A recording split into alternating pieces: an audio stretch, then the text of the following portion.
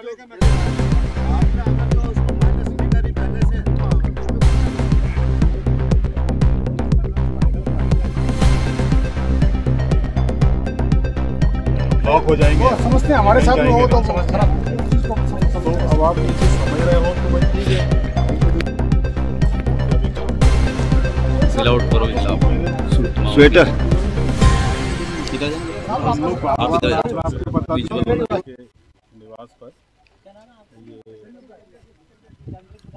भोगोर गाँव के कई लोग जो है आज आए थे और रेलवे के द्वारा, रेलवे ट्रैक के दोनों तरफ़ जो बाउंड्री वॉल की जा रही है, इस बाउंड्री वॉल के द्वारा उनके आवागमन के रास्ते पूरी तरह अवरुद्ध किए जा रहे हैं। इसकी मांग भूगोर के निवासी बार बार करते रहे हैं। पिछले दो साल से मैं भी इस क्षेत्र में कार्यरत हूँ। तो ये शिकायत बार बार आती रही है। हमारे द्वारा रेलवे को उनकी ज़मीन बाकायदा कई बार नाप कर बताई गई है।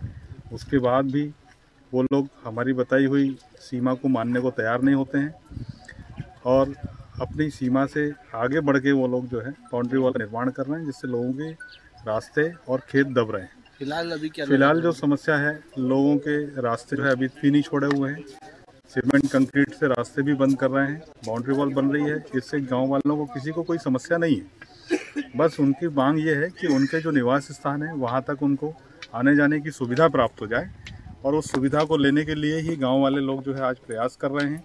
रेलवे से अपनी बात रख रहे हैं।